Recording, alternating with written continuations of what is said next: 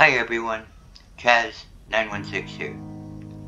I'm back again with another Western style build for you. Welcome to the Cooper's General Store, the most popular general store in my Western Theme Park series. If you have questions, suggestions, anything like that, please put them in the comment section below. Okay Rosey, so let's show them around.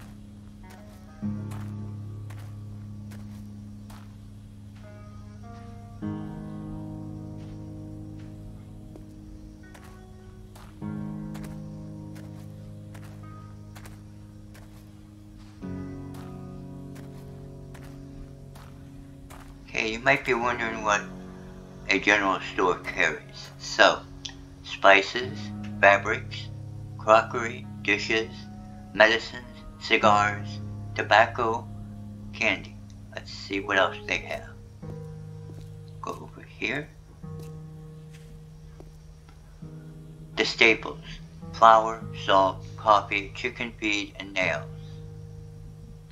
Also, hardware, soaps, and house, other household items. Okay, so let's take a look inside. Pound of lard is 10 cents.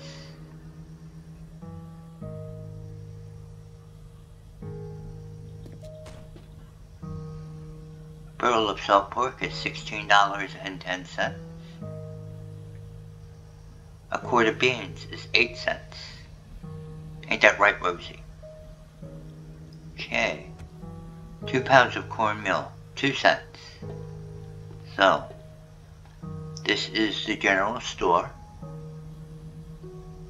Okay, we're going to go out this way. The Coopers live here. Their residence is upstairs. So we're going to go up and take a look at it.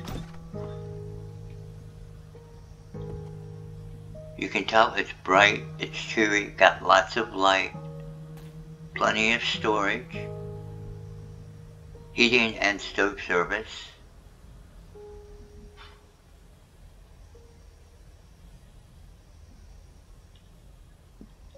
Okay guys, that does it for this build. Shall we wrap it up, Rosey? Alright, let's get going. Okay. Come on, Rosey. You can do it. There you go. Okay. Rosey and I thank you for joining us.